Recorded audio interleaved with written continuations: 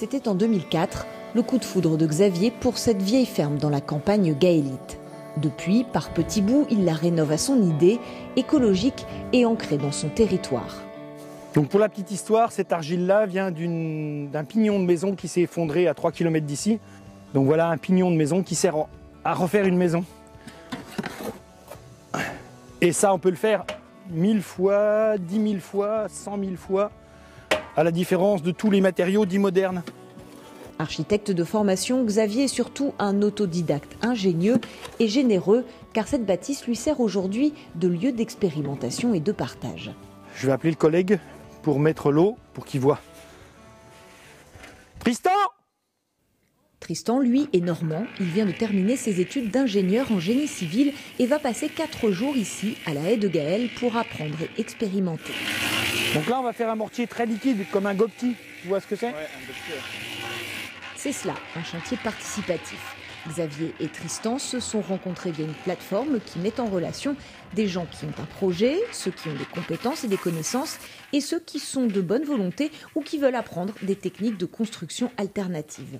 Ces chantiers peuvent parfois réunir plusieurs dizaines de personnes, mais chez Xavier, inscrit sur Twiza depuis deux mois, on privilégie les petits groupes pour que chacun puisse vraiment mettre la main à la pâte.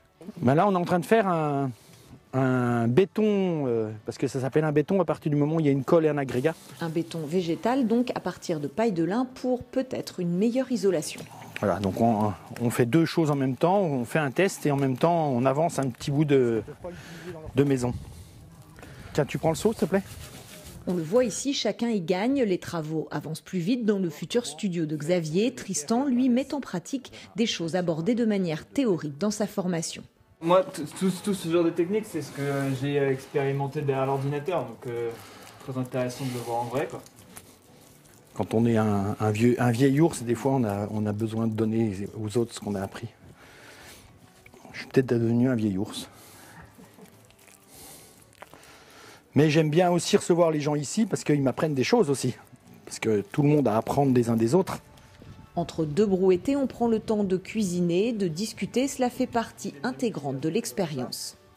Moi, d'un point de vue personnel, je trouve que le chantier participatif, c'est quelque chose d'intéressant.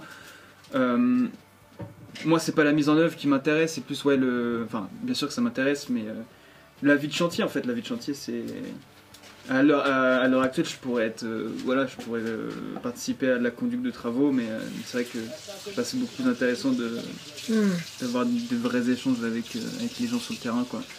On partage d'autres choses, hein, de la culture, du cinéma, des films, on joue aux échecs, on joue au tarot comme on a fait il y a quelques jours.